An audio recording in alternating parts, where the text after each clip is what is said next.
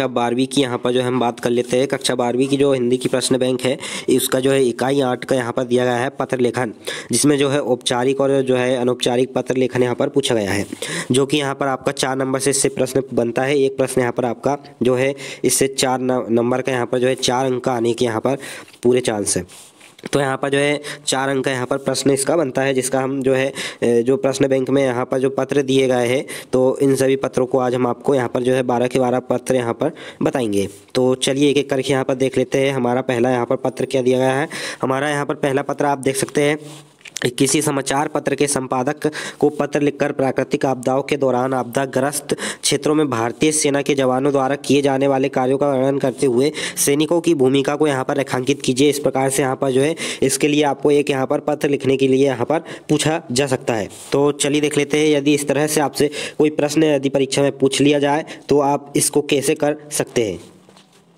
तो चलिए देख लेते हैं, यहाँ पर इस तरह से प्रश्न पूछा जाता है तो इसका जो है आंसर इस प्रकार से लिखिएगा कि सेवा में श्रीमान संपादक महोदय, अमर उजाला, शिमला। तो इसका यहाँ पर विषय देख लीजिए, इस प्रकार से इसका विषय लिखना है कि भारतीय सेना के जवानों द्वारा किए जाने वाले कार्यों का वर्णन करते हुए सेना की भूमिका का यहाँ पर वर्णन बताया गया है। फिर उसके बाद यहाँ पर लिखना है कि महोदय, मेरा नाम यहाँ पर लिख देना है, सुमित शर्मा है, मैं शिमला ज़िले का रहने वाला हूँ, मैं अपने लोकप्रिय समाचार पत्र के माध्यम से, मैं के माध्यम से मैं भारतीय सेना के जवानों द्वारा किए जाने वाले कार्यों का वर्णन करते हुए सेना की भूमिका का वर्णन करना चाहता हूँ। आशा करता हूँ कि आप मेरे विचारों को अपने लोकप्रिय समाचार पत्र में प्रकाशित करेंगे। शिमला ज़िले के गाँव में आई प्राकृतिक आपदाओं के दौरान आपदाग्रस्त क्षेत्रों में भारतीय सेना के जवानों द्वारा किए जाने वाले कार्यों की प्रशंसा करना चाहता हूँ। भारतीय सेना गाँव के लोगों की बहुत मदद की। लोगों को समय समय पर खाने का सामान पहुँचाया गया।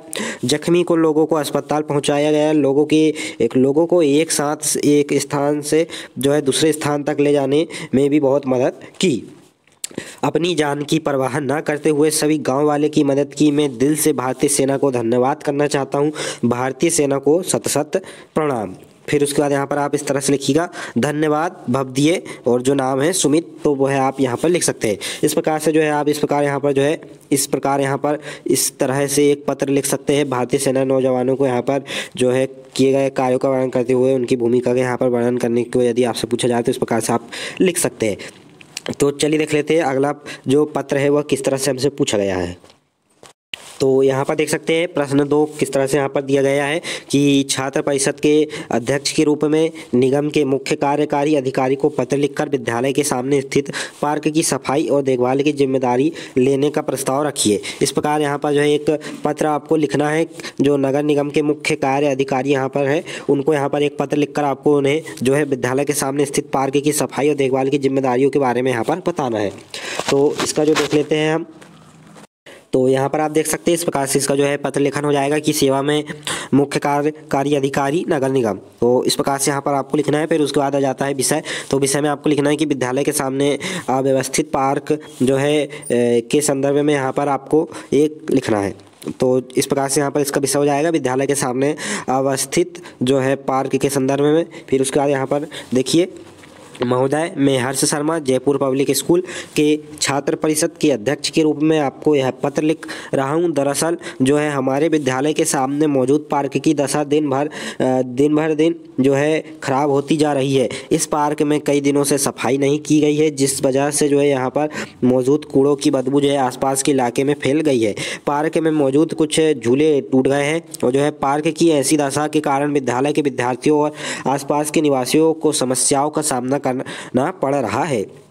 संबंधित अधिकारियों को सूचित करने के बावजूद अब तक कोई भी सख्त कदम यहाँ पर नहीं उठाया गया है। अतः आपसे निवेदन है कि आप इस पार्क की सफ़ाई और देखभाल की ज़िम्मेदारी लें, जिस कारण पार्क की दशा में सुधार आएगा। धन्यवाद। इस प्रकार से जो यहाँ पर लिख दीजिएगा फिर उसके बाद यहाँ तो यहाँ पर उसके बाद आप देख सकते हैं, इस प्रकार से लिखनी है, पढ़ना हो आपको लिखना पड़ेगा कि भवदीय हर्ष शर्मा, अध्यक्ष, छात्र परिषद, जयपुर पब्लिक स्कूल। फिर उसके बाद यहाँ पर आपको लिख देना होगा दिनांक, जो कि यहाँ पर इकतीस अगस्त दो यहाँ पर दिया गया है। इस प्रकार से जो है आप इस प्रकार यहाँ पर विद्यालय के सामने अवस्थित पार्क के संदर्भ में एक पत्र यदि आपसे पूछा जाए तो इस प्रकार से आप यहाँ पर लिख सकते हैं। तो चलिए अगला प्रश्न हम देख लेते हैं कि किस पत्र किस प्रकार हमें पत्र लिखना है।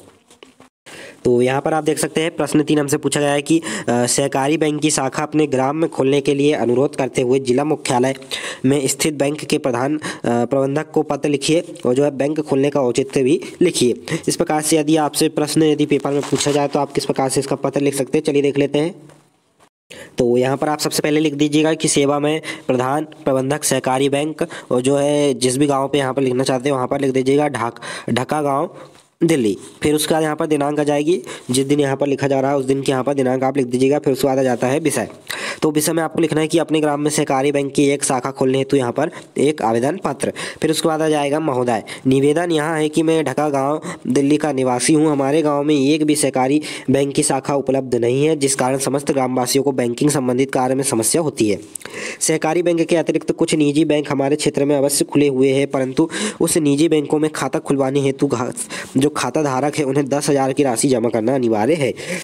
इतनी राशि जमा कराकर खाता खुलवाना हमारे ग्रामवासियों के लिए समस्या बनकर खड़ी हो गई है। गाँव में बहुत अधिक दूरी पर सहकारी बैंक की शाखा अवश्य है, परंतु वहाँ तक जाने में समय का दुरुपयोग होता है। अतः महोदय, मेरा आपसे ग्राम, मेरे, मेरा अपने ग्रामवासियों की ओर से निवेदन है कि हमारे ग्राम में सहकारी बैंक की एक शाखा को खोलने का कष्ट करें।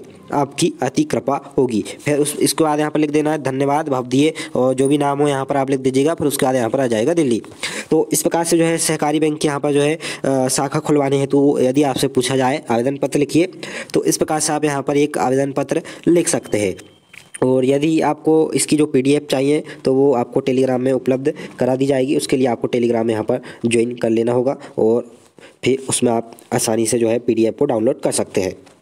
तो चलिए अगला प्रश्न हम देख लेते हैं। तो यहाँ पर देख सकते हैं, प्रश्न क्रमांक चार इस प्रकार से पूछा गया है कि अपने क्षेत्र के सांसद को पत्र लिखकर अनुरोध कीजिए कि अपने ग्राम में एक पुस्तकालय की स्थापना अपने सांसद निधि से करवाए, इसका औचित्य भी यहाँ पर समझाइए। तो चलिए देख लेते हैं, इसका पत्र किस प्रकार से लिखना है? तो यहाँ पर देख सकते हैं, सबसे पहले आपको यहाँ पर पता लिख देना होगा, जैसे कि यहाँ पर लिखा है दस करोल बाग बाग नई दिल्ली, और यहाँ पर दिनांक लिख देनी है। फिर उसके बाद आ जाता है, यहाँ पर आपको लिखना होगा कि सेवा में माननीय सांसद महोदय। नई दिल्ली, विषय जो है, यहाँ पर लिख देना है कि क्षेत्र में पुस्तकालय नया पुस्तकालय खुलवाने हेतु यहाँ पर आवेदन पत्र। उसके बाद आ जाता है महोदय। निवेदन है कि मैं करोल बाग में बाग में रहता हूँ। यहाँ की आबादी बहुत बढ़ चुकी है। यहाँ की जनसंख्या पिछले पाँच सालों की तुलना में तीन गुनी हो चुकी है, किंतु इस क्षेत्र में पुस्तकालय की व्यवस्था नहीं है। पुस्तकालय से संबंधित किसी भी काम को काम के लिए लोगों को यहाँ से बहुत दूर जाना पड़ता है, जिससे बहुत परेशानी होती है। खास तौर पर बूढ़े और महिलाओं को बहुत कष्ट उठाना पड़ता है। सिर्फ़ विद्यार्थी ही इसका लाभ ले पाते हैं। उसके बाद यहाँ पर लिख देना है कि मेरा सांसद महोदय से विनम्र अनुरोध है कि इस क्षेत्र की आवश्यकता आवश्यकताओं और परेशानियों को देखते हुए इस क्षेत्र में जल्दी से जल्दी एक पुस्तकालय खुलवाने की व्यवस्था करें, जिससे यहाँ के नागरिकों को होने वाली पठन पाठन की परेशानियों से छुटकारा मिल सके। उसके बाद यहाँ पर लिख देना है, धन्यवाद भवदीय और उसके बाद यहाँ पर अपना नाम लिख देना है, जो भी आपका नाम हो। फिर यहाँ पर देख लेते हैं, अगला पत्र क्या पूछा गया है?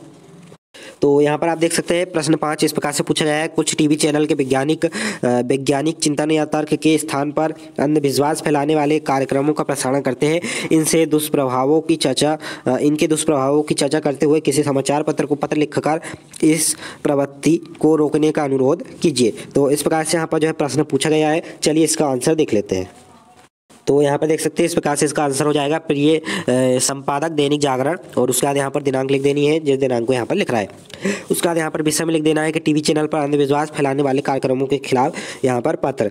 श्रीमान जी, मैं आपको इस पत्र द्वारा यह कहना चाहता हूँ कि टीवी चैनल वैज्ञानिक चिंतन के स्थान पर अंधविश्वास फैलाने वाले कार्यक्रमों का प्रसारण कर रहा है। इस कारण हमारे देश में अंधविश्वास फैल रहा है। यदि इसी तरह टीवी चैनलों पर अंधविश्वास का प्रसारण होता रहा, हमारा देश कभी आगे नहीं भर, जो है, बढ़ पाएगा। कृपया इस विषय के खिलाफ अपने समाचार में लिखें। धन्यवाद। इस प्रकार से जो है आप इस तरह यहाँ पर यदि आपसे पूछा जाए तो इस तरह आप इस प्रकार पत्र लिख सकते हैं। तो चलिए देख लेते हैं। अगला प्रश्न हमसे क्या पूछा गया है? यहाँ पर आप देख सकते हैं, प्रश्न क्रमांक छः, इस प्रकार से पूछा गया है कि आप किसी पर्यटक स्थल पर भ्रमण के लिए गए, किंतु वहाँ क्या अस्वच्छता देखकर खिन्न हुए, इस पर अपने विचार व्यक्त करते हुए उक्त स्थल के पर्यटन अधिकारी को यहाँ पर एक पत्र लिखिए और सुधार का अनुरोध कीजिए। इस प्रकार से यहाँ पर एक पत्र पूछा गया है तो चलिए देख लेते हैं इसका उत्तर। तो यहाँ पर आप देख सकते हैं, इस प्रकार से आपको लिखना है। सबसे पहले यहाँ पर एक ऊपर दिनांक आपको लिख देना है। उसके बाद यहाँ पर आ जाता है, सेवा में श्रीमान मंत्री महोदय, पर्यटन मंत्रालय, जयपुर, राजस्थान। उसके बाद यहाँ पर विषय में लिख देना है कि पर्यटन स्थल पर फैली गंदगी को विषय में जो है संज्ञात्मक पत्र। उसके बाद यहाँ पर लिख देना है, मान्यवर, मेरा नाम मोहित राज है। मैं पिछले कई दिनों से राजस्थान के प्रमुख पर्यटन स्थलों का भ्रमण कर रहा हूँ और इसी सिलसिले में मैंने पिछले दिनों जयपुर के मुख्य स्थल का भ्रमण कर रहा हूँ। जब मैं हवा महल गया था तो वहाँ के आसपास गंदगी और अस्वच्छता देख कर मुझे बड़ा जो है, मुझे बड़ी ग्लानी हुई। राजस्थान में पर्यटन स्थलों की भरमार है और अनेक देशी विदेशी मेहमान इस पर्यटन स्थलों के दर्शन के लिए आते रहते हैं। पर्यटन स्थलों पर फैली गंदगी को देखकर उनके मन में हमारे देश के प्रति नकारात्मक छवि बनती होगी।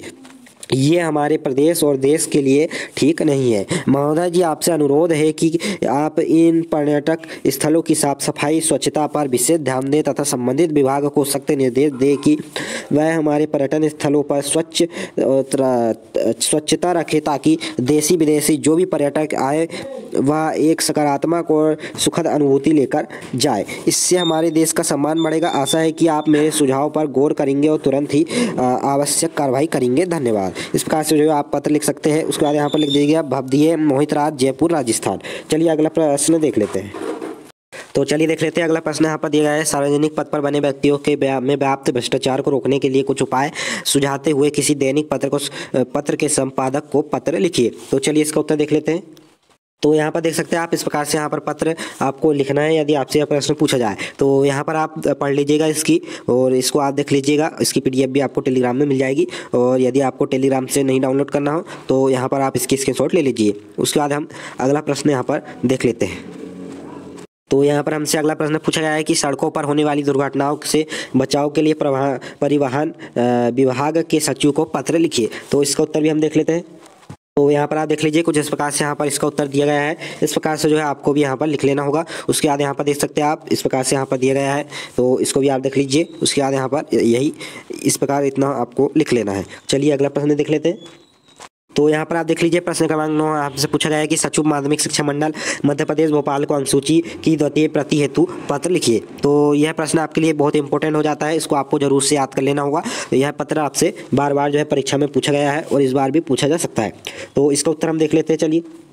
तो यहाँ पर देख सकते हैं आप, इस प्रकार से इसका उत्तर हो जाएगा। सचिव माध्यमिक शिक्षा मंडल भोपाल को बारहवीं वार्ड परीक्षा की अनुसूची की द्वितीय प्रति प्राप्त करने हेतु आवेदन पत्र आपसे पूछा जाएगा। तो इस प्रकार से आपको लिख देना होगा, प्रति श्री सचिव महोदय, मध्य प्रदेश माध्यमिक शिक्षा मंडल, भोपाल, मध्य प्रदेश। विषय अनुसूची की द्वितीय प्रति भेजने बाद और उसके बाद यहाँ पर लिख देना है, महोदय जी, उपयुक्त विषय उपयुक्त विषय से निवेदन है कि मेरी कक्षा दसवीं की अनुसूची की मूल प्रति कहीं खो गई है। मैंने यह परीक्षा सन दो हज़ार अठारह में उत्तीर्ण की थी, अतः मुझे अंक सूची की द्वितीय प्रति भेजने का कष्ट करें।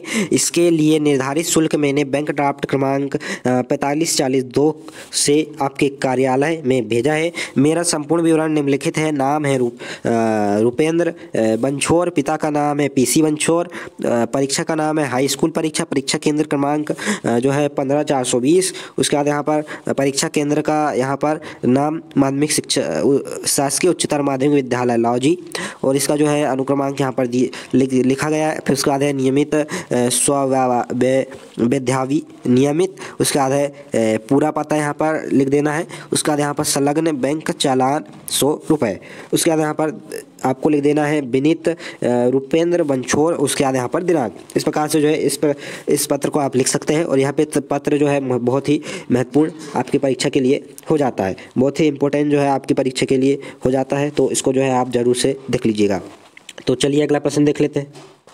तो यहाँ पर आप देख सकते हैं अगला प्रश्न दिया गया है अपने विद्यालय के प्रचारक को खेल सा, सामग्री की व्यवस्था है तो यहाँ पर एक प्रार्थना पत्र लिखिए।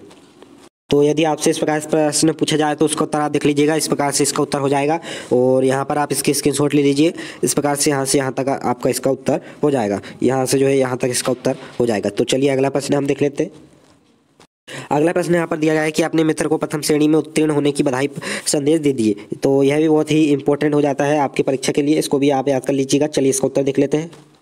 तो यहाँ पर इस प्रकार से इसका उत्तर हो जाता है 215 गांधीनगर छिंदवाड़ा। उसके बाद यहाँ पर दिनांक। फिर इस प्रकार से इसको पत्र आपको इस प्रकार पत्र लिख देना है। प्रिय मित्र सचिन, साई स्नेह, नमस्कार। उसके बाद यहाँ पर आप देख सकते हैं इस प्रकार से आप लिख दीजिएगा। और यहाँ से जो है यहाँ तक इसका उत्तर हो जाएगा। तो चलिए अगला प्रश्न देख लेते हैं। यहाँ पर आप देख सकते हैं हमसे अगला प्रश्न यहाँ पर पूछा गया है, प्रश्न क्रमांक बारह। अपने पिताजी को अपनी पढ़ाई के संबंध में विस्तृत जानकारी पत्र द्वारा प्रेरित, प्रेषित कीजिए। तो चलिए इसका उत्तर देख लेते हैं। अगली, आखिरी प्रश्न का यहाँ पर उत्तर इस प्रकार से हो जाएगा। और यह देख लीजिए, आप इसके स्क्रीनशॉट ले ले सकते हैं। ये आखिरी प्रश्न का उत्तर हो जाएगा। तो चलिए हम जो है अगले वीडियो में मिलेंगे आपसे जो है अगले प्रश्न उत्तर के साथ। जब तक के लिए आपका बहुत बहुत धन्यवाद। Thanks for watching